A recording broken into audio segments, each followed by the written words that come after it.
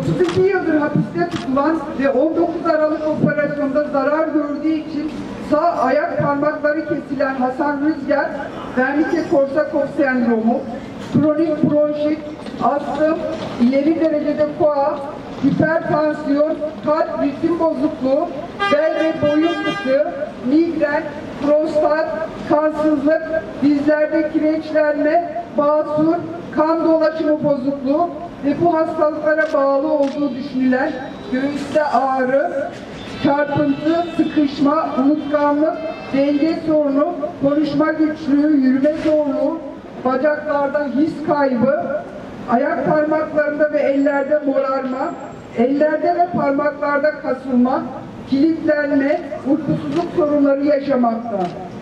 Yaşamını başkalarının yardımıyla sürdürebilmektedir.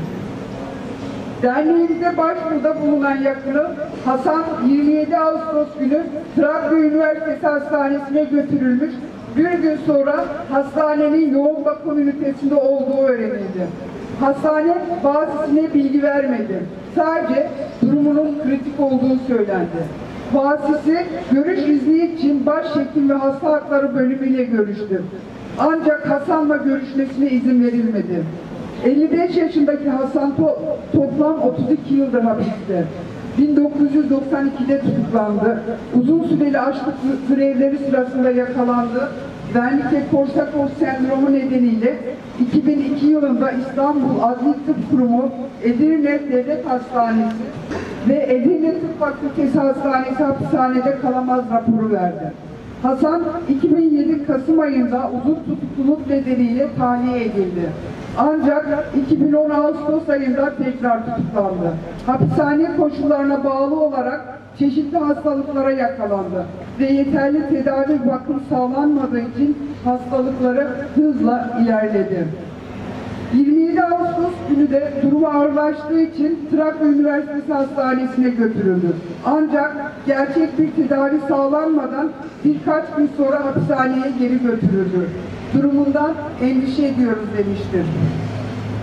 4 Eylül'de taburcu edilerek yeniden hapishaneye gönderilen Hasan Rüzgar'ın sağlık ve yaşam hakkı ağır tehdit altında olup tedavi ve bakımı için serbest bırak, bırakılması gerekmektedir.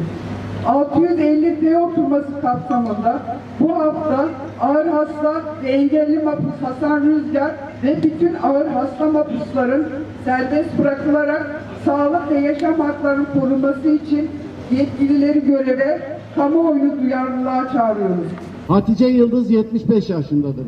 Şu an Bakırköy Kadın Kapalı Hapishanesi'nde tutulmaktadır. Yıldız hapishanede bulunan kızı ve kızının arkadaşı adına hapishaneye hesabına para yatırarak örgütü finanse ettiği iddiasıyla açılan dava sonucunda verilen ceza nedeniyle hasta olmasına rağmen 22 Mart 2024 günü evinden sedye ile alınarak tutuklanmıştır. 75 yaşındaki Hatice Yıldız yaşlılığa bağlı sağlık sorunları yanında demans, yüksek tansiyon, kemik erimesi, bel fıtığı, omurga eğriliği, mide rahatsızlığı ve görme bozuklukları hastalıklarıyla mücadele etmekte. Sık sık baygınlık geçirmekte, başkalarının yardımı ile yaşamını sürdürebilmektedir. Hapishaneye girdiğinden beri tüm tedavi süreci aksamış durumda, ilaçlarını dahi düzenli alamamaktadır. İleri yaşına ve hastalıklarına rağmen tam 5 ay 21 gündür hapishanede tutulan Hatice Yıldız hapishanede her gün tansiyona ve strese bağlı baygınlık geçiriyor ve hastaneye kaldırılıyor. Doktorları tarafından acilen göz ameliyatı olması gerektiği de söylenen Hatice Yıldız'ın tutuklu kalması sağlığına ve yaşamına ağır tehdit oluşturmaktadır. Hatice Yıldız'ın sağlık durumu hızla bozulmaktadır. İlerleyen demans hastalığı nedeniyle unutkanlığı artmakta, kişisel bakımını ancak başkalarının yardımıyla yapabilmektedir.